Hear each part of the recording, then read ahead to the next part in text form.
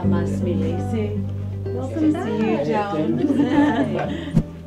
My father had shortness of breath. We were referred to the cardiologist through the hospital here. So my dad came to see him, and we weren't sure if it was lung related or heart related, and it was just getting progressively worse and worse and worse with the breathing. They ran all sorts of tests and just found out that he had this aortic stenosis, and that's how we wound up coming here. The procedure was a TAVR procedure that we did um, under conscious sedation, so it was done without general anesthesia, and it was done from the femoral artery with catheters with no surgical incisions.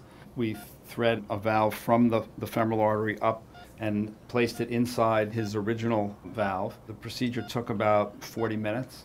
FDA has approved TAVR for patients who are intermediate risk, high risk, and extreme risk or inoperable. So you were a low risk patient, and that's a big percentage of the of the patient population. So if the data is encouraging, then it would open up an avenue for Uh, another big segment of the population that would be able to, to have this procedure routinely, not part of a research trial. But you know that data is pending, and we'll, we'll have to, to see. The, the challenge is for us to be as good as, as the surgeons are, and we'll find out if we can do that. We've been fortunate to be involved in this from the beginning with respect to the treatment uh, to demonstrate the value of transcatheter valve therapy. We've worked together as a team, both the surgeons and the cardiologists, with respect to this. If somebody meets the criteria to be a candidate, then uh, half the patients get um, assigned by a computer to the surgical valve, valve group, and half get assigned to the, the catheter-based or TAVR valve group.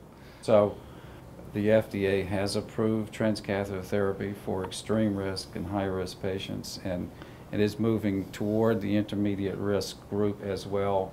And as in this case, we're testing the validity or the equivalent nature of the therapy with respect to transcatheter therapy and surgery. And what I think is most important is that every patient should be approached as a team. Okay. That way we can decide what's going to be the best therapy uh, for the patient, and in the end, the, the patient uh, is the one that benefits. A month out, he's feeling much better, and uh, his symptoms have resolved. Um, so it, I think it was overall a great success, and he's back to his life and feeling a few years younger, right? Yeah, yeah. He's considered young and healthy, which normally doesn't fit the criteria for the TAVR. You have to be older and high risk, and he wasn't that. He was young and healthy, so we were glad that we participated and he was given this opportunity. It's been about, yeah, a month, that's it. Oh my gosh. Exactly one month. Yeah. Πώς αισθανόσουν μόλις βγήκες έξω από την εγχείρηση, Epitapoli's matters. About after we, uh, one week, eh, you say, oh my God, this is very, very good.